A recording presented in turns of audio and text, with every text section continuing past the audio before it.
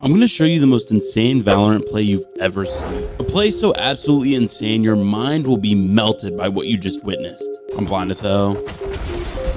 What the oh fuck? To the untrained eye, this play looks like dumb luck, but let me explain to you exactly how every small detail was calculated. Three days before this game ever even started, I had hacked into this guy's PC. And all of his death matches, unrated, spike rush, comp games, Every time he cleared a left corner, I made sure that the enemy team had a 100% chance of heads tapping him. So now he's been subconsciously trained to never look left.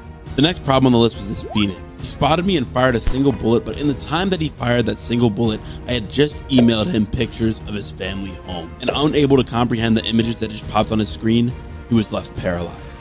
And this Jett, well sadly enough, he was just along for the ride.